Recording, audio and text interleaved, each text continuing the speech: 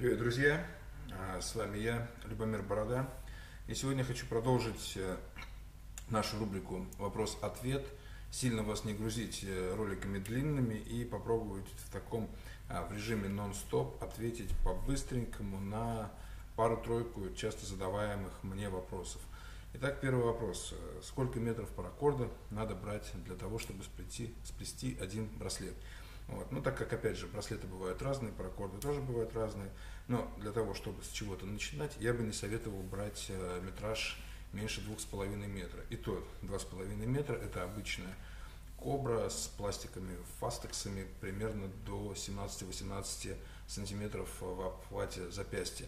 Дальше, если будет запястье чуть больше или вы немножечко ошибетесь, то в принципе вы, вам может этого паракорда не хватить, а как известно, скупой платит дважды. Поэтому, если вы только начинаете, берите всегда 3 метра, немножко плюс, немножко минус. То есть 3 метра 18 сантиметров в обхвате запястья. Если вы обхват запястья больше, берите чуть-чуть больше. Если обхват запястья 17-16, можете взять там 2,90, э, там 2,80. Но опять же, берите первый кусок на 3, пробуйте, а потом вы уже будете немножко примерно понимать, э, сколько, какой метраж вам нужен конкрет, конкретно касаемо этой модели браслета, какой метраж вам нужен для другой модели браслета. Если же вы будете плести double кобру, то, соответственно, берите уже больше, берите от 4 метров и выше, а лучше даже 5. Вот. А если вы делаете быстро расплетаемый браслет, э, плетение быстро расплетаемого браслета, то там, опять же, не менее 3,5, а лучше брать сразу все 4. Вот. И, а, в принципе, с этим вопросом мы разобрались. И следующий вопрос, который вытекает из этого же, а, как правильно мерить запястье. Вот. Я не знаю, как меряют другие, я это делаю так. То есть я знаю размер а, своего запястья в обхвате в сантиметрах впритык.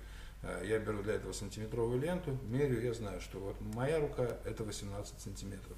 Я беру тестовую модель какого-то браслета, пилотную, какого-то определенного плетения, вот, и делаю его под себя. А получается, что ну, просто примеряю, а как мне будет удобно. Делаю, все, я вижу, вот этот браслет у меня 18 сантиметров. Я наношу этот браслет на свою рабочую доску, на свой паракорд джиг, вот, и ставлю метку 18 сантиметров. Далее, когда ко мне приходит клиент, просит сплести точно такую же модель браслета, я пляшу от этой отметки. Если у него запястье там 21, соответственно, я прибавляю 3 к моей отметке. Если у него запястье 16, я отбавляю 2 сантиметра от своей отметки.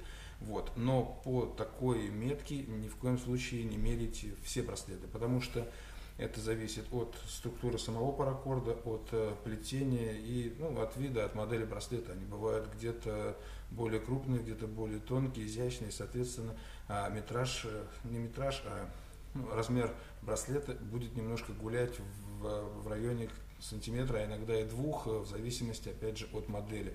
Поэтому старайтесь каждую модель измерить, сделать какой-то пилотный а, тестовый размер, наметить это все себе, либо записать в какую-то таблицу, после этого будет проще работать. Так, э, следующий вопрос. Э, какой э, я юзаю паракорд?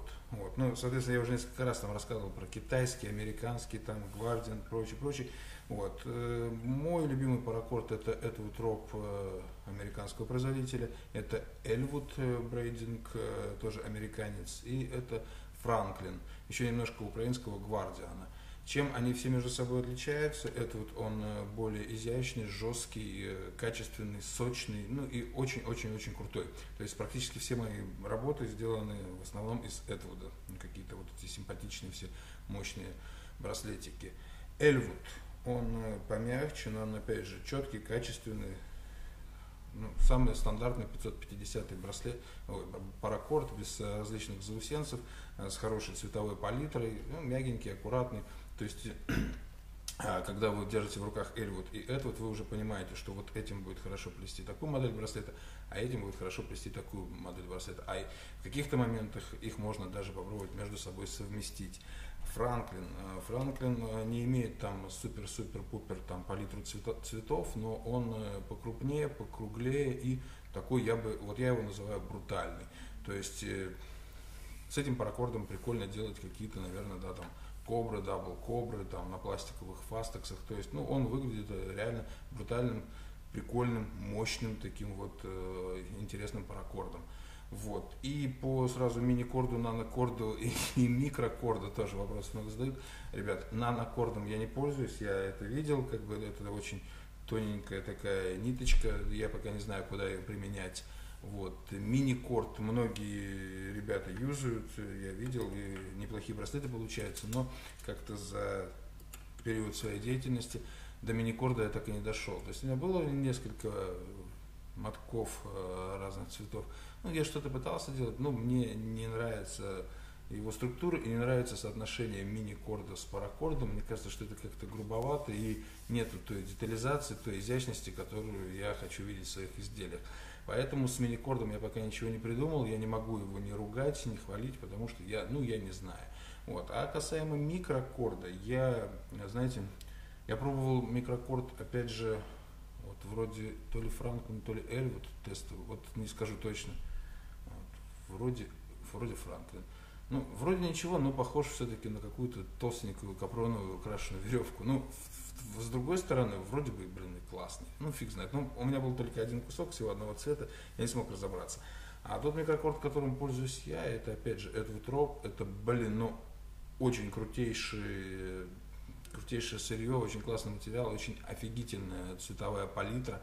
И там э, реально я как э, фетишист, мне хочется купить каждого цвета по несколько катушек, там вот э, реально им запастись, глазами гуляю, потому что у меня здесь стоят катушки в ряд, которыми я работаю там ежедневно, и там еще э, дополнительные цвета, когда катушки заканчиваются, там у меня стоят еще запасы. Вот. Ну, блин, так как я работаю с микрокордом, он, он нравится мне весь. Э, это, это, это просто, просто чудо.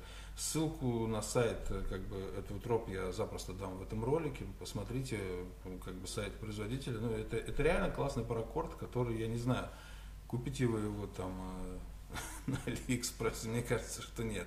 Смотрите на производителя, ищите поставщиков, которые возят этот паракорд, вот, и делайте классные, прикольные вещи.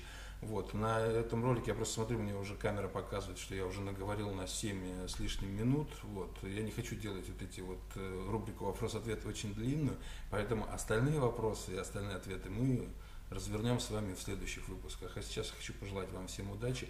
Придите классные браслеты, э, не повторяйте ни за кем, э, придумывайте свое, потому что придуманное свое в тысячу раз лучше скопировано.